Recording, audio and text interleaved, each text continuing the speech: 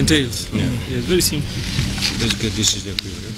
Even if you don't read the open, you can highlight it. No. I don't think people will be interested in the legality. Okay. You read your political Okay, statement so- and refer them to the legality.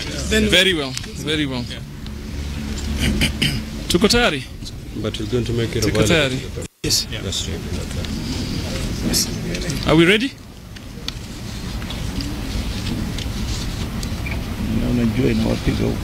Mpaka waseme unajua they have to put on microphones and everything. Okay. Okay, let me first of all begin by apologizing for delaying a little bit. We're just finalizing on, on the statement that we are about to deliver. For about a month now, since a by-election was declared in Malindi, I have been at the center of state-sponsored machinations, targeting me individually and businesses linked to me. These acts that amount to persecution, intimidation, and blackmail have taken more dramatic and scary turn after the by-election.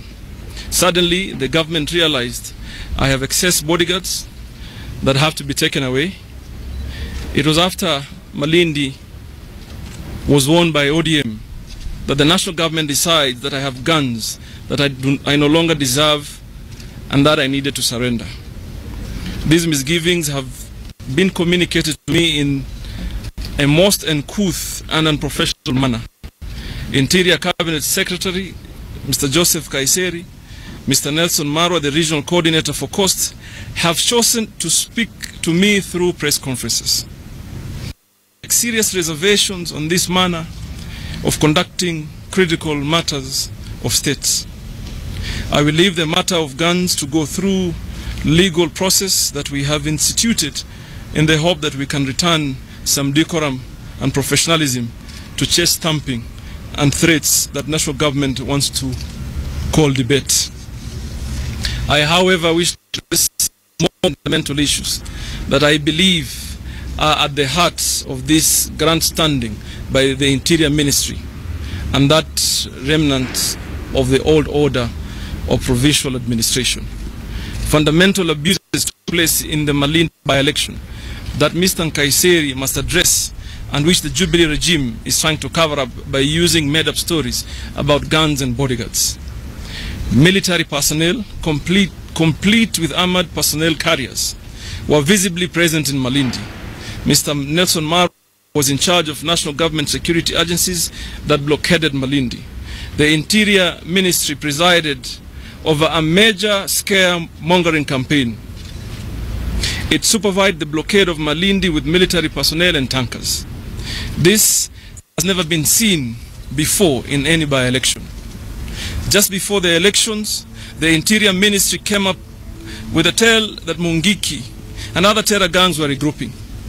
It was part of the scaremongering that will certainly re-emerge in the coming days to justify a crackdown on opposition, supporters, and leaders. A civilian election and a supposedly civilian government being supervised by military is a massive contradiction. The law is clear about the circumstance under which our military can be deployed. Mr. Nkaiseri and the presidency or the country a nation to this breach of law. Government it wants to run a civilian regime or it is embracing military rule.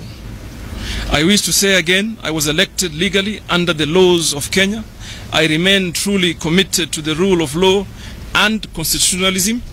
I remain committed to the spirit of our constitution that creates two levels of government. Of one level of government recognized by the constitution. I also remain deeply committed to the spirit and ideals of my party ODM, where I remain a deputy party leader. I will never betray the ideals and principles of my party.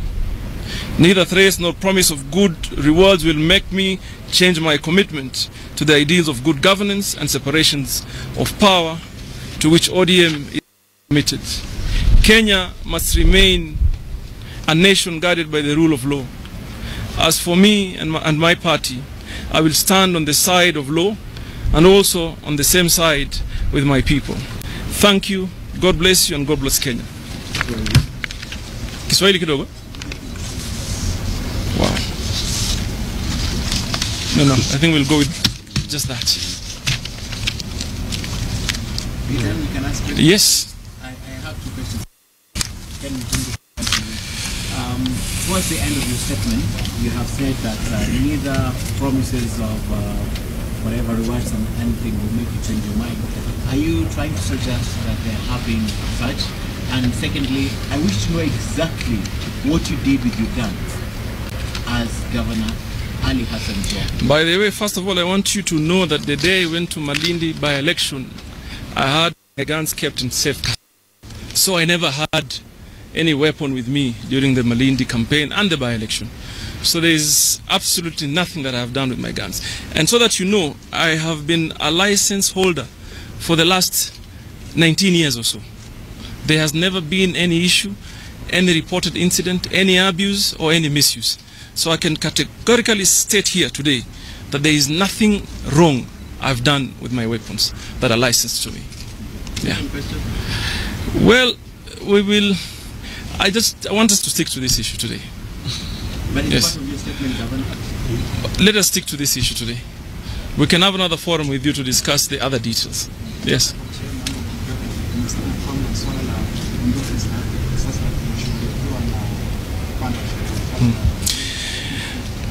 Sheria sheria inasema hivi. Sheria inasema kwamba mhusika kupeana leseni ana sheria ku- license but there are procedures ambazo ziko ndani ya sheria. One is that akirevoke hiyo license you have first of all 14 days to comply. Katika 14 days the law allows that you appeal to the minister. Na ukiappeal that acts as an automatic, automatic suspension of the revocation. So that's where we are today. We are hoping, uh, even though I'm aware, uh, unfortunately, the minister has a predetermined position, lakini sheria tutaifuata. Ikishindikana, kuna judiciary, tutaendelea mbele. Yes, sir. My name is Morini Moni from ATN. You raised concern about alleged Have you raised those concerns the IEBC and the State Security Department? Perhaps a second question. You did mention about alleged treatment of other uh, and perhaps could you give us a clarification of this? Well, th- that, that's what I said uh, national government did through Nkaiseri and Marwa. In fact, Marwa was very clear on his statements that the, the, the illegal groups regrouping to, to, to come to Malindi particularly. And that for us was part of the scaremongering so that they could use excessive force like we, uh, that it happened in Malindi. And therefore, that question is better placed uh, or can be better answered by those that issued those, those statements initially. So, Thank you. asanteni.